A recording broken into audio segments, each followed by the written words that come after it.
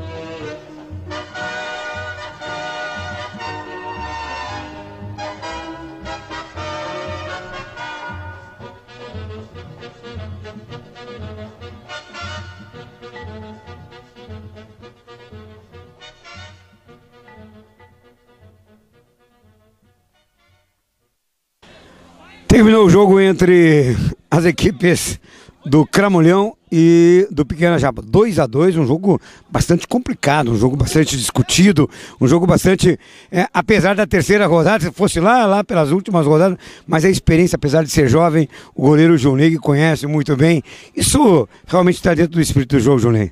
Ah, pois é, o professor ali viajou ali, nossa bola ali, ele dando falta para nós, que contra nós que não era, e para eles qualquer coisa eles davam, né, cara? Mas tava bom, bom jogo. E a partir desse 2 a 2 é um, um, um, resultado bom, apesar de ainda termos aí uma, uma terceira rodada apenas da competição? Tá bem, o time tá bem, o campeonato tá bem, começando agora e nosso time tá bem. O que, que dá para os próximos jogos, né? É, chegar, a equipe tem condições de chegar entre os oito classificados para a próxima fase? Apesar de ser ainda a terceira rodada? Tem, tem, tem mais quatro caras de fora, quatro caras de lá bom lá, o frente bom, os caras não vieram hoje que trabalham, né? Muito bem. E a experiência tua, João, Johnny? É uma experiência de, de, de jovem, né? De, de, garotão aí. Com esse time também de jovem, claro. Né? Você acaba botando o Digão jogando de lateral, que é um tradicional goleiro. Dono do time, né? tá aí o Johnny, tá saindo aqui o Johnny, né? Ele que é o goleiro da equipe do Cramulhão, realmente chama a atenção, porque ele coloca o Digão que é um tradicional goleiro né, aqui no Cantegril Clube.